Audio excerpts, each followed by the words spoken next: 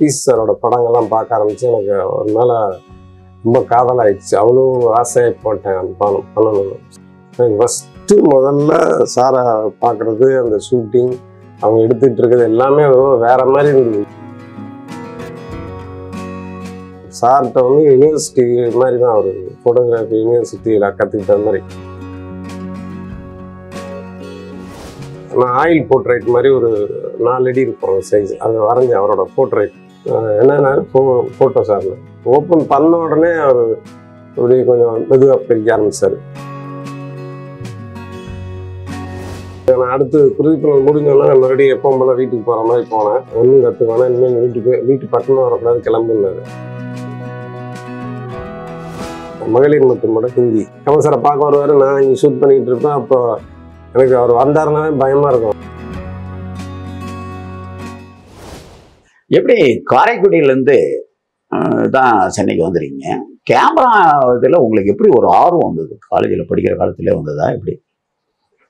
இல்லை ஆக்சுவலாக எனக்கு ஃபோட்டோகிராஃபியில் எப்படி ஆர்வம் வருதுன்னா எனக்கு நான் பேசிக் கொஞ்சம் படம் வரைவேன். ஏன்னா எங்கேயும் கற்றுக்கல சும்மா நானாக வரைய ஆரம்பிச்சது. அது அப்படியே கொஞ்சம் கொஞ்சமாக ஃபோட்டோகிராஃபிக்கு சின்ன வயசுல வரையா ஆமாம் சின்ன வயசுலேருந்தே சும்மா யார்ட்டையும் கற்றுக்கல நானாக. பண்ணது. சரி. அதுக்கப்புறம் வந்து நான் காலேஜில் படிக்கும்போது எல்லா பெயிண்டிங் காம்படிஷன் இதுக்கெல்லாம் போவேன். அப்போது பெயிண்டிங்லேருந்து கொஞ்சம் கொஞ்சமாக ஃபோட்டோகிராஃபிக்கு எடுத்தால் நல்லா இருக்கும் இல்லையா ஊரில் வந்து கல்யாண ஃபோட்டோ இதெல்லாம் எடுப்பேன். பட் கல்யாணம் எடுக்கிறது அப்போ நான் சொல்கிறது வந்து ஒரு fifteen years back fifteen twenty years back முன்னாடி. வந்து கல்யாணத்தையே வந்து வித்தியாசமாக எடுக்கணுன்றக்கா இப்போ எடுக்கிறாங்களே கேண்டிட் ஃபோட்டோ இதெல்லாம் நான் இருபது வருஷத்துக்கு முன்னாடியே பண்ண ஆரம்பித்தேன் கல்யாணம் முடிஞ்ச உடனே பொண்ணு மாப்பிள்ளையை கூட்டிகிட்டு போய் வெளியே வச்சு மாண்டேஜ் சாங் மாதிரி எடுக்கிறது அது- அப்போ ரோஜா வந்த புதுசு அதில் அந்த தொடத்தோட மலர்ந்தது அந்த சாங்லாம் வந்து எடுத்துட்டு அங்கே உள்ள லோக்கலால் வச்சு எடிட்லாம் பண்ணி கிட்டத்தட்ட மூவி சாங் மாதிரியே இருக்கும் பார்த்தா. அது ரொம்ப அங்கே இருக்கவங்களுக்கு அது ரொம்ப புதுசாக இருந்தது. எனக்குமே அது ரொம்ப வித்தியாசமாக இருந்துச்சு. ஸோ அப்படி இருக்கும்போது நான் சாரோட பீஸ் சாரோட படங்கள்லாம் பார்க்க ஆரம்பிச்சு எனக்கு ஒரு மேலே ரொம்ப காதலாயிடுச்சு. அவ்வளோ ஆசையாக போட்டேன் பண்ணணும் ஸோ அப்போது நான் வந்து படித்தது வந்து திருப்பத்தூர் காலேஜில் அப்சா காலேஜ் பிகாம் படிச்சுட்டு இருந்தேன். ஸோ படித்து முடிச்சுட்டு இங்கே வந்து சார்கிட்ட இன்ஸ்டியூட்டில் சேர்ந்ததான் சார் சேர்த்துப்பாருன்னு சொல்லி சொன்ன மாதிரி இருந்ததுனால நான் இன்ஸ்டியூட் ட்ரை பண்ணேன். பட் இன்ஸ்டியூட் ஃபிலிம் இன்ஸ்டியூட்டில் நான் எல்லாமே நான் அதுக்காக ஃபோட்டோஸ்லாம் கொஞ்சம் எடுத்தேன் கலெக்ட் பண்ணேன். பட் அதுக்கப்புறம் வந்து நான் இன்ஸ்டியூட் போனதுக்கப்புறம் தான் தெரிய வந்தது பிகாம் வந்து டிஸ்குவாலிஃபை பண்ணிடுவாங்க. ஆனால் பிகாம் வந்து எலிஜிபிள் இல்லை பிஎஸ்சி சயின்ஸ் குரூப் தான் எலிஜிபிள்னு சொன்னாங்க. இப்போ நான் எவ்வளோ கேட்டேன் கெஞ்சினேன் முடியாதுன்ட்டாங்க சரி ஓகேன்ட்டு அதுக்கப்புறம் வந்து நான் சாப்பிட்ட ட்ரை பண்ணுறேன் இங்கே ஒரு ஃபேமஸ் வீடியோ செவன் சேனல் சொல்லிட்டு அங்கேயே ஒர்க் பண்ணேன். ஒரு மூணு வருஷம் ஒர்க் பண்ணேன். மூணு வருஷம் ஃபோக்கஸ் அசிஸ்டண்டாக ஒர்க் பண்ணேன். கேமரா போகும்போது ரெண்டல் போகும்போது நான் கூட போவேன் ஃபோக்கஸ் பண்ணுறது ஸோ அப்படி போகும்போது சத்யா படத்தில் இருக்க கிட்டி வந்து பீஸ் சாரோட ஃப்ரெண்டு அப்படின்னு சொன்னாங்க. ஸோ அவர்கிட்ட வந்து என்னோட ஃபோட்டோஸ் எல்லாம் காமிச்சேன். காமிச்சு இந்த மாதிரி நான் சாப்பிட்ட சேர்றதுக்காக தான் வந்தேன். உங்களால் ஹெல்ப் பண்ண முடியுமா? சொல்ல முடியுமான்னு கேட்டேன். அப்போது வந்து அவர் சொன்னார் இல்லை அவர் யார் சொன்னாலும் ரெக்கமெண்டேஷன்லாம் எடுத்துக்க மாட்டார். நீங்கள் இந்த ஃபோட்டோலாம் காமிங்க கண்டிப்பாக உங்களை எடுத்துக்கிறதுக்கு வாய்ப்பு இருக்குன்னு. ஸோ அது மூலமாக ஆரம்பிச்சது பட் அவரை எப்படி அப்ரோச் பண்ணுன்னு தெரியல. அப்போது என்னோடய ஃப்ரெண்டு என்னோட காலேஜ் மேட் அவங்க வைஷாலின்னு சொல்லி அவங்க வந்து ஒரு பத்திரிக்கையில் ஒர்க் பண்ணிட்டு இருந்தாங்க. அவங்க வந்து சா பீஸை இன்டர்வியூ பண்ண போனாங்க. போகும்போது நானும் கூட வர்றேன் அப்படின்னு சொல்லிட்டு போனேன். ஏன்னா அப்போ தான் எனக்கு வாய்ப்பு கிடைக்கும் அவரை பார்க்குறதுக்குன்னு சொல்லிட்டு. ஸோ போயிட்டு அவங்க இன்டர்வியூ பண்ணாங்க. நான் வந்து ஃபோட்டோ எடுத்தேன் அவரை. ஃபோட்டோ எடுக்கும்போது இங்கேருந்து நான் ஊர்லேருந்து எல்லா ஆல்பம்லாம் எடுத்துகிட்டு போயிட்டேன். ஃபோட்டோ அவர்கிட்ட காமிக்கிறதுக்காக. எடுத்து முடித்தோடனே சார் இல்லை நான் ஊர்லேருந்து வந்து மூணு வருஷம் ஆச்சு சார் உங்களுக்கு சேர்றதுக்காக தான் வந்தேன். பட் எனக்கு எப்படி உங்களை பார்க்குறேன்னு தெரில அப்படின்னு சொல்லி கொடுத்தேன் ஃபோட்டோஸ்லாம் கொடுத்தேன். அவர் ஃபோட்டோ வாங்கி பார்த்தாரு. பார்த்துட்டு எல்லாத்துக்கும் கேட்டார். எவ்வளோ எவ்வளோ ஷட்டர் ஸ்பீடு எவ்வளோ அப்ரோச்சர் என்ன ஏதுன்னு எல்லாத்தையுமே கேட்டார்.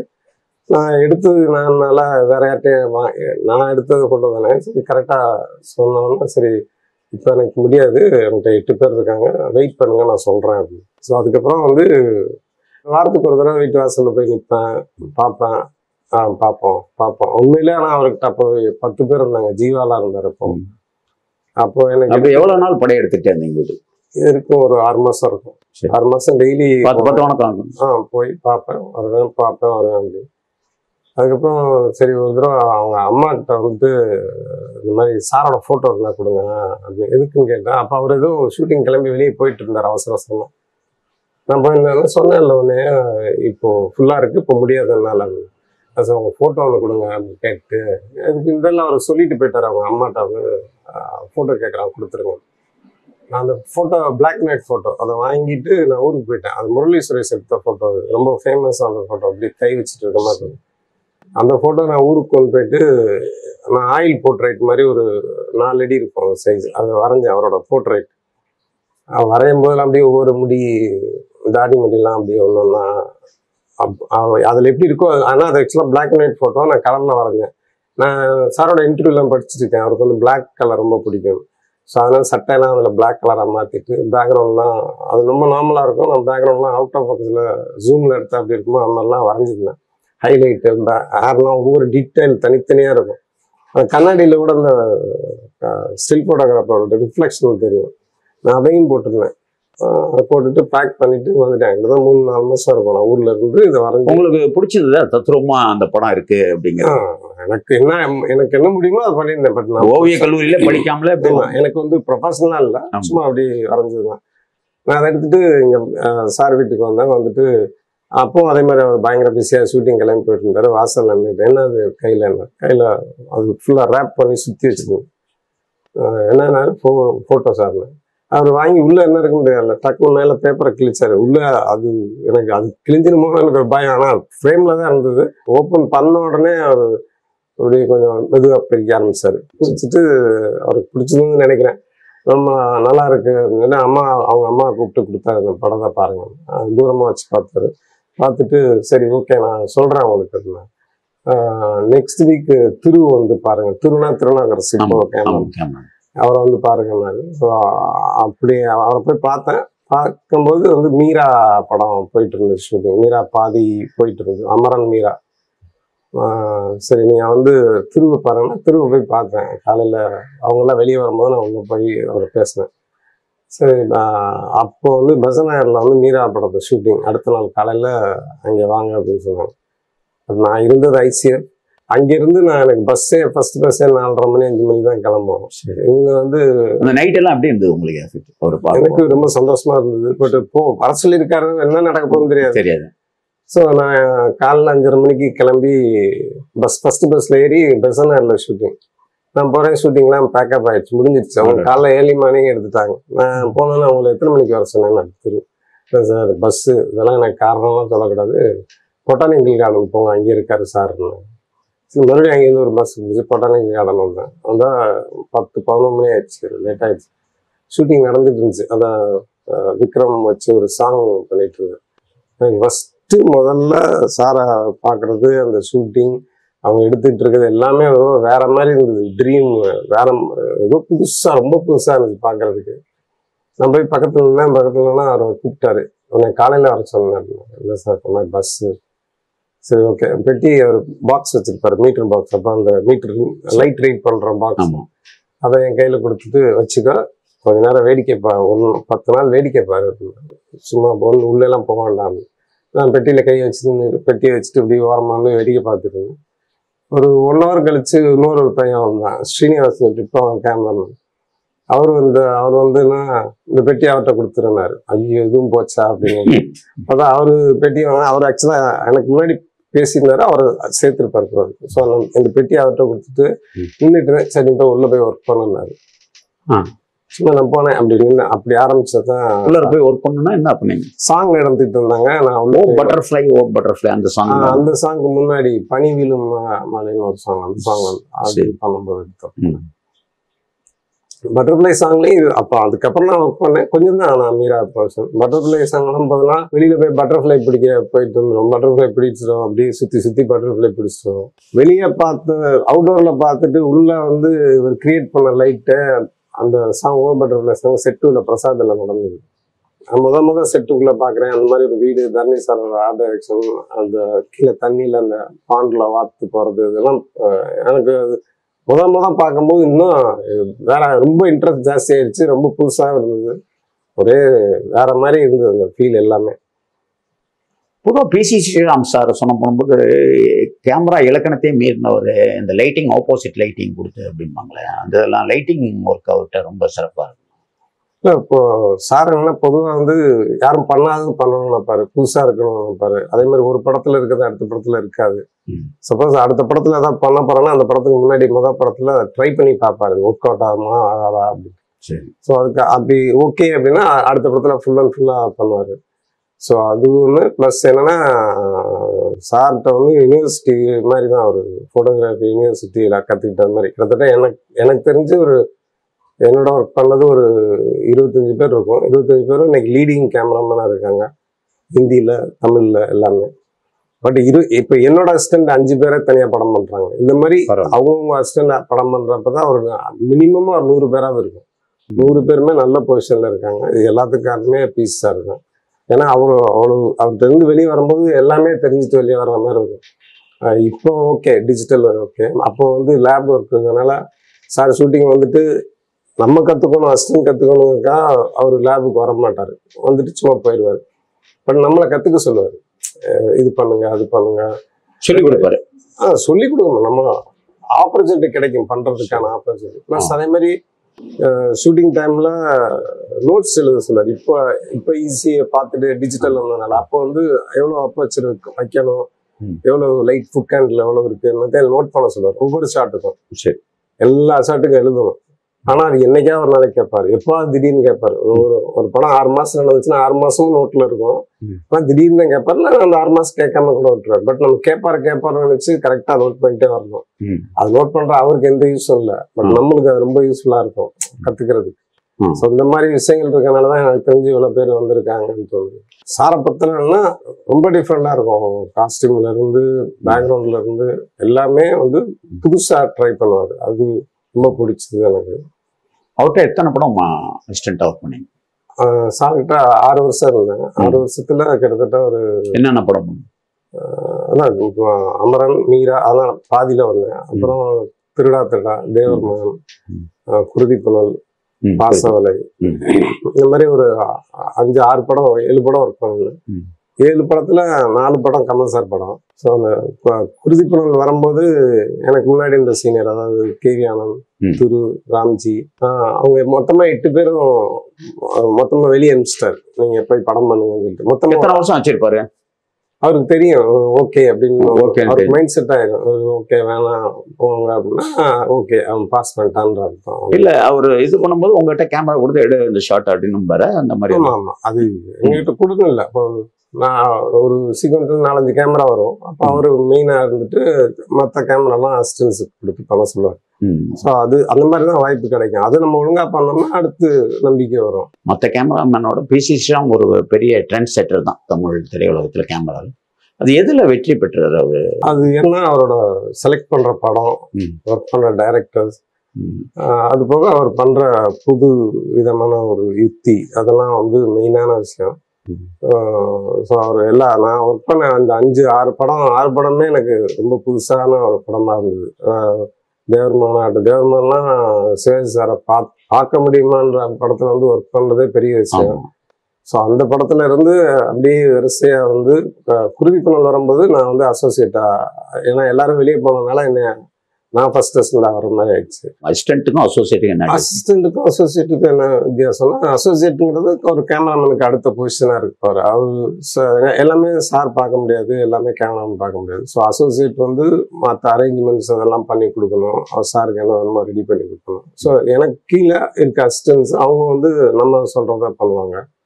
ஸோ அது வந்து அவருக்கு அடுத்த பொசிஷனில் இருக்க மாதிரி இருக்கும் அசோசியேட் இப்போ நீங்க அவரை விட்டு பிரிக்கும்போது போல நீங்க போலாம் கத்துக்கிட்டீங்க அப்படின்னு எப்போ சொல்ல ஆரம்பிச்சாரு? எந்த படத்துல?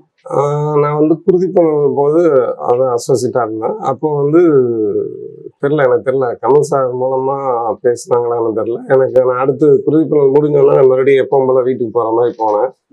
போனேன்னா இனிமேல் நீங்கள் வர வேணாம் நீங்கள் கிளம்புங்க எனக்கு புதுசாக இருந்துச்சு. ரொம்ப பயந்தேன் நான் சரி சார். இல்லை இல்லை நீங்கள் போங்க. உங்களுக்கு நல்ல படம் வரும் போங்கன்னாரு ஆனால் யார் என்னன்னு சொல்லலை என்கிட்ட. சரி.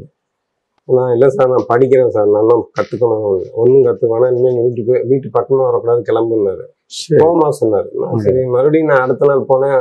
நான் நேரத்தே சொன்னேன் வர வேண்டாம்னு சொல்லிட்டு மறுபடியும் வந்து இல்லை சார் எனக்கு யாரையும் தெரியாது சார். அதெல்லாம் தெரியாது. நீ கிளம்பு அப்படின்னா நீ பண்ணுவ போ அப்படின்னா யாராவது போய் பாரு போய் பார்த்து பேசு நீ தனியாக பண்ணுறதுக்கு ட்ரை பண்ணு. எனக்கு இங்கே யாரும் தெரியாது நான் ஊருக்கு போயிட்டேன். மறுபடியும் காரைக்குடி போயிட்டேன். சாரை விட்டு நான் வெளியே போனதும் இல்லை. ஸோ ஊருக்கு போய் போய் ஒரு நாலஞ்சு நாள் இருக்கும். இங்க கமல் சார் ஆஃபீஸ்ல இருந்து டிஎன்எஸ் சாரோட பையன் சக்தின்னு சொல்லிட்டு அவர் அவர் ப்ரொடக்ஷன்லாம் பார்த்துப்பார். சரி.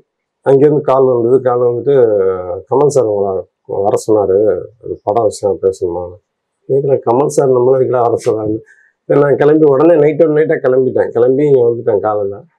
காலையில் வந்தோன்னா இங்கே கோதண்டபாணி ஸ்டுடியோவில் குருடி டப்பிங் போயிட்டு இருந்துச்சு சரி. சார் உங்களை அங்கே வர சொன்னாங்க நான் அங்கே போனேன். இப்போ கமல் சார் டப்பிங் முடிச்சுட்டு வெளியே வந்தார் நான் நின்றுட்டு இருந்தேன். இந்த மாதிரி என்னோட ப்ரொடக்ஷனில் ஹிந்தி படம் பண்ணுறேன் நீங்கள் தான் கேமராமேன் ஓ. சார் நான் முத படமே இந்தி படம். ஹிந்தி படம் கமல் சார் படம். கமல் சார் கூப்பிட்டு சார் என்ன சார் இல்லை சார் நான் படிக்கணும் சார் நான் சிஜி படிக்கலாம் ஒன்றும் படிக்க வேணாம் பீஸ் சார்ட்ட நிறைய படிச்சிட்டீங்க போதும். அதனால நீங்கள் காலையில் ஆஃபீஸ் போங்கன்னு சொல்லிட்டு நான் என்ன சொல்கிறேன் கேட்கல அவர் மட்டும் உள்ளே போயிட்டாரு. இது வந்து பிசி ஸ்ரீராம் சார் சொன்ன கமல்கிட்ட சொன்னாரா? கமலே உங்களுக்கு சார் தான் சொல்லியிருப்பாரு. சரி. கமல் சார் தெரியும் பட். சார் மூலமா தான் வந்திருக்கும் வாய்ப்பு. இல்லைன்னா சார் சொல்லாமலாம் கிடைக்கவே கிடைக்காது. நிச்சயம். அவர் சொல்லியிருப்பாரு கண்டிப்பா பண்ணுவான் அப்படின்னு ஒரு நம்பிக்கை வந்தோன்னா என்னை வெளியே போக சொன்னாரு. அதனாலே வந்து அவர் சொல்லி தான் அது வந்திருக்கும். அவர் சொல்லாமலாம் வராது. பட் என்கிட்ட சொல்லல. அவர் சொன்னாருன்னு சொல்லிட்டு. அந்த மாதிரி முதல் படம் கமல் சார் படம். கமல் சார் ப்ரொடக்ஷன் ராஜ்கமல்ல ஹிந்தியில மகளிர் மட்டும் கூட ஹிந்தி. ஸோ அது ஆரம்பிச்சு அஹ், போயிட்டு இருந்துச்சு. ஆனால் போகும்போது கூட அவர் கமல் சாரை பார்க்க வருவார். நான் இங்கே ஷூட் பண்ணிட்டு இருப்பேன். அப்போ எனக்கு அவர் வந்தாருனாவே பயமா இருக்கும். பட் இருந்தாலும் அவர் கண்டுக்கவே மாட்டார். இப்போ நல்லா பண்ணுவான். ஓகே அப்படின்ட்டு போயிடுவார் அந்த அளவுக்கு பயங்கர கான்ஃபிடென்ட்டாக இருப்பார். அவர் பண்ணுறதா எது பண்ணாலும் சரி. ஃபர்ஸ்ட் டே ஃபர்ஸ்ட் நாள் ஷூட்டிங் அது அந்த எப்படி இருந்தது? பதட்டம் நைட்ல எடுக்க ஆ. போறோமே கமலை வச்சு இது பண்ண ஒரு படம். ஃபர்ஸ்ட் ஷூட்டிங் ஃபர்ஸ்ட் ஷாட் வந்து எனக்கு வந்து அப்போ அந்த படம் வந்து ஃபுல் அண்ட் ஃபுல் ஒரு ஒரு எக்ஸ்பர்ட் கார்மெண்ட்ஸில் நடக்கிற கதை அது. அது நான் ஃபுல்லாக வந்து மூமெண்ட்லேயே இருக்கணும் கேமரா அப்படின்னு சொல்லி நான் மேலே ஃபுல்லாக லைட்டு அந்த உடையார பில்டிங்கில் நடந்தது செட்டு ஆமா. போட்டிருந்தாங்க அப்போது அப்போ லைட்டு வந்து கீழே வைக்காம எல்லாம் மேலே வைக்கணும் அப்படின்னு சொல்லிட்டு நிறைய லைட் தேவைப்படும். நம்மளாம் அந்த போடுற ஃபோட்டோ பிளட் மாதிரி பல்ப் அங்கே மேலே அந்த மேலே வந்து லைட் வைக்கணும் கிட்டத்தட்ட ஒரு இரநூறு இரநூத்தம்பது பாக்ஸ் மாதிரி ஷார்ட் பாக்ஸ் மாதிரி வரும். சின்ன சின்னதாக உள்ள பல்ப் பண்ணும் அது வைக்கணும் பட் கேட்டேன் மேனேஜர் அவங்க கமல் சாரோட மேனேஜர்கிட்ட அவர் ஏங்க என்ன இரநூத்தம்பதுன்றீங்க? அதெல்லாம் செட் ஆகாமல் தெரியல நீ கமல் சார் வருவார் அவர்கிட்ட பேசிக்கீங்கன்னு சரி. சரி அது ஆனால் அது இருந்தால் நல்லா இருக்கும். கண்டிப்பாக ஈஸியாகவும் இருக்கும். வேலையும் நல்லா நடக்கும். பார்க்கறதுக்கு ஒரு ஒரிஜினலாக இருக்கும்னு சொ- தோணுச்சு. சரி கமல் சார் செட் ஒர்க் பார்க்கறக்காக வந்தார். வந்தோடனே நீங்கள் அவர்கிட்ட பேசிக்கங்கன்னு சொல்லிட்டாருன்னு சொல்லிட்டு நான் நேராக போய் சார்கிட்ட போயிட்டு சார் இந்த மாதிரி மேலே அந்த பல்பு வச்சா நல்லா இருக்கும் சார் அது ஈஸியாக மூவ் பண்ணலாம். அப்படியா? எவ்வளோ வேணும்? எவ்வளோ தேவைப்படும்? ஸோ ஒரு இரநூத்தம்பது. ஆ சரி பண்ணிடுங்க அவ்வளோதான் ஒரு வார்த்தை தான் சொன்னார். பண்ணிடுங்க அதெல்லாம் ஒன்றும் கூப்பிட்டு மேனேஜரை கூப்பிட்டு சொல்லிட்டாரு. பாலு கேட்க பண்ணுங்க ஸோ அது அவருக்கு தெரியும். இந்த இது வந்தால் கரெக்டாக இருக்கும்னு அவருக்கும் தெரியும். ஏன்னா அவருக்கு கேமரால கொஞ்சம் ஆர்வம் அதிகம் உண்டு ஸோ அதனால அப்படி ஆரம்பிச்சு அன்னைக்கு ஆரம்பிச்சு first first day shooting first first shot நம்மளா வந்து எக்ஸ்பீரியன்ஸ் இருந்துச்சுன்னா மூவ்மெண்ட் பண்ணுறதுக்குலாம் ஈஸியாக இருக்கும். மாமா எக்ஸ்பீரியன்ஸ் முதல் படம் முதல் ஷாட்டு எக்ஸ் நான் அப்படி பயந்துட்டே இருந்தேன். பார்த்தா பேந்தர் அதாவது கேமரா வந்து பேந்தரில் வச்சு இந்த சின்ன க்ரைன் மாதிரி இருக்கும். அது மூவ் பண்ணுறது எல்லாமே ஹைட்ராலிக் நம்ம கையில் ஆப்ரேட் பண்ணணும். தள்ளுற மட்டும் தான் தள்ளுவாங்க. அப் அண்ட் டவுன் அதெல்லாம் மூவ்மெண்ட்லாம் நம்ம பண்ணணும். கேமராமேன் பண்ணணும். ஸோ அது அந்த ஷாட் என்ன ஃபஸ்ட்டு அந்த அதில் ரந்தீர் கபூர் நடித்தார் லிஃப்ட்டில் ரந்தீர் கபூர் நிற்பார் லிஃப்ட்டுக்கு பின் லிஃப்ட்டுக்குள்ளே கேமரா இருக்கும். டோர் ஓப்பன் ஆகும். டோர் ஓப்பன் ஆகணும்னா வெளியே போவார். அவர் பின்னாடியே போய் எல்லாருக்கும் அந்த ஆஃபீஸ்க்குள்ளே கார்மெண்ட்ஸ்குள்ளே போவார். போய் கடைசியில் அவரோட டேபிளில் போய் உட்காருவார். பட் இது எல்லாமே அவர் சிங்கிள் ஷாட்டில் கேட்டார் டைரக்டர் அவருக்கு பின்னாடி கேமரா போயிட்டு அவருக்கு முன்னாடி வந்து திரும்ப மறுபடியும் எல்லாரும் ஒருத்தன் குட் மார்னிங் குட் மார்னிங் சொல்லுவாங்க. அவர் முன்னாடி போய் அவருக்கு முன்னாடி அவர் டோரை திறக்கறதுக்கு முன்னாடி அவர் டோர் திறக்கும் போது நான் உள்ள போய் அவர் சீட்டுக்கு பக்கத்துல போய் கேமரா நிக்கணும். இதெல்லாம் ஒரே ஷாட். முதல் ஷாட் எனக்கு கொஞ்சம் ரொம்ப பயமாயிடுச்சு நான் முதல் ஒன்மோர் கேட்கக்கூடாது. ஃபஸ்ட் டைம் பண்ணும்போது ஒன்மோர்லாம் பணம் பெட்டரா இருக்கும். இதில் என்னென்னா இதெல்லாம் கமல் சார் சொன்ன ஐடியா ஒரு ஐடியா ஆனால் அந்த டோருக்கு பின்னாடி கேமரா அதாவது லிஃப்ட்டுக்குள்ளே கேமரா இருக்கும். டோர் ஓப்பன் ஆகும். அவர் போகணும். ஆனால் டோர் உள்ளே க்ளோஸ் பண்ணும்போது அதே இடம் தான். லிஃப்ட்டே போடலை ஆக்சுவலாக ஒரே இடத்துல. அந்த கேமரா நம்ம உள்ளே இருந்துட்டு கேமரா டோர் மூடினோடனே அந்த ஆப்போசிட்டில் இருக்க எல்லா செட்டப்பும் மாற்றணும் ஏன்னா வேறு ஃப்ளோர் மாதிரி. அதான் டோ அதே இடம் தான். டக்குன்னு மூடி ஒரு ஒன்று ரெண்டு மூணு ஏழு ஏழு ஃப்ளோர் போகிறாங்க டைமிங்குள்ள அந்த மொத்த செட்டப்பையும் மாற்றணும் அந்த கேரிடரில் இருக்க எல்லாத்தையுமே. மாற்றினா டோர் ஓப்பன் ஆனால் அதே இடத்துல இருக்காது வேற இடம் மாதிரி தெரியும். ஸோ அப்படி போ ஆரம்பித்து உள்ளே போய் அஹ், நிக்கணும். இந்த நான் ஆரம்பித்து போச்சு எடுத்தேன். ஆனால் உள்ளே உட்காரும்போது மட்டும் எனக்கு இந்த ஷாட்டு ஒன் முறை போகக்கூடாது அப்படின்னு சொல்லிட்டு ஒரு பயங்கர கான்ஃபிடென்ட்டாக உட்காந்து உட்காரும்போது. ஸோ அதே மாதிரி உள்ளே போய் உள்ளே உட்காந்து சொல்கிற வரைக்கும் கட்டாதான் எதுவும் பிரச்சனை இல்லாமல் போச்சு.